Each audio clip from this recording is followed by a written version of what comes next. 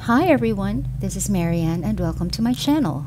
Sometime within the first week of June, I have been trying out a smaller bag. This is the smaller bag, which I have also shown in a previous vlog, which I will link down below.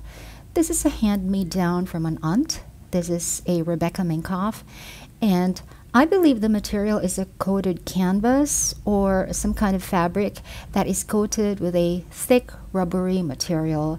It has beige, beige and navy blue stripes and it looks worn because it has some stains right here which we could not get off even though we washed the outside material with some soap and water. I think this is also color transfer from clothes but that's alright I don't really mind. I like the look of this bag.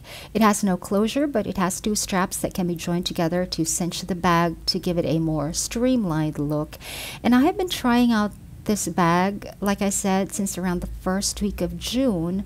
So I have only very few items here, which I just tossed into this bag when I had to step out very, very quickly, like to buy some medicines.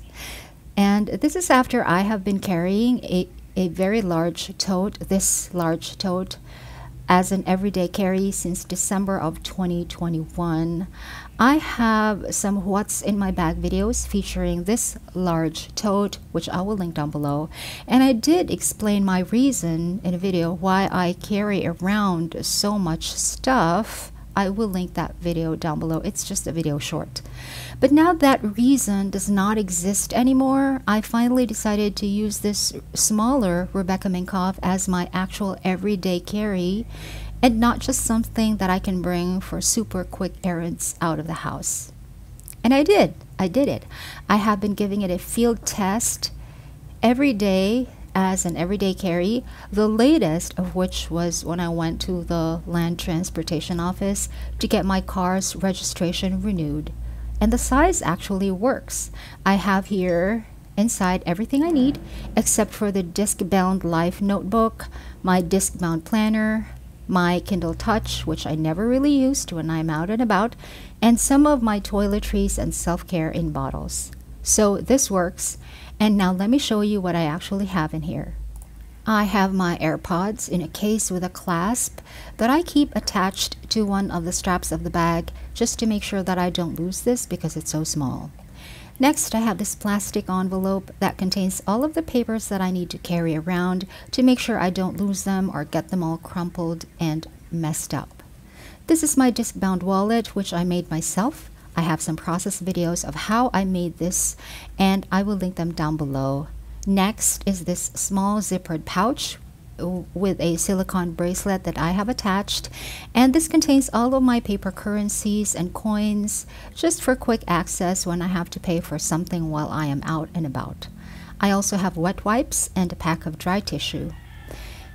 And these are my fit over sunglasses. I super love these because I don't like being out in the bright sunlight much, but sometimes I have to go out in daylight.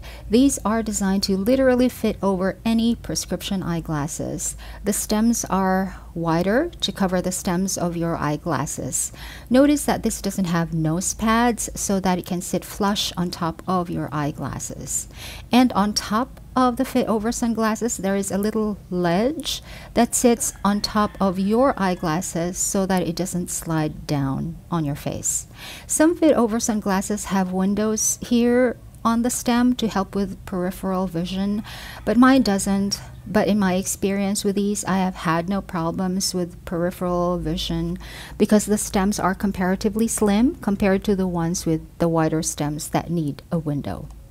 This is my body spray from Bath and Body Works, and this is my sunscreen. This is my favorite now. This is just a spray bottle of alcohol disinfectant. This is my toothbrush, which is battery operated. I always take out the batteries when the toothbrush is not in use, and I was also able to fit a small tube of toothpaste in here. This is a case of disposable straws because I have sensitive teeth. And by the way, my toothpaste is the one for sensitive teeth. I have the full-sized tube of this toothpaste at home. I have two battery packs an old face mask that I need to throw out, and also some tissues that also need to be thrown out. And here is my iPhone cable. There is nothing more in the main compartment at this point. Inside the zippered pocket, I have a bunch of paper bills, some of my pictures for ID cards that I have to submit to the government, a receipt, a loyalty card, and some coins, and a paper clip. And I also have an ordinary ballpoint pen, which I need when I am filling out those government forms, and a permanent marker pen for when I am filling out the plastic packaging for things that I have to mail out. In the other pockets, I have my eyeglasses in a hard case. I actually only wear these eyeglasses for when I am driving. I use a different pair when I am at home or when I am not the one driving.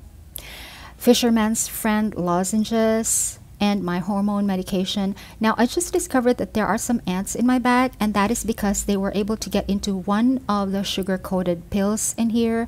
I must have accidentally punctured the blister here, so the ants were able to get into the sugar coating of this one particular pill. This is my charging cable for my Apple Watch. I have another cable that's permanently at home. And finally, this is my favorite lip balm. On the strap, I have attached a triangular carabiner. I can actually no longer find the link where I bought this, but if I do find out, I will just add it to the description box. And this carabiner is where I attached my key holder, which has this personal alarm. I have unboxed a black version of this personal alarm in my channel, and I will link it down below. And now, this bag is finally empty. Let me just turn it inside out and clean out all of the remaining tiny pieces of trash inside and then we can put everything back in again. As for this pack of pills, I am just going to cut off the line with a punctured blister and remove the offending part later. Maybe I'll just throw it away. For now, I will keep the sealed part in my bag. For sure, the ants are not going to get to this anymore.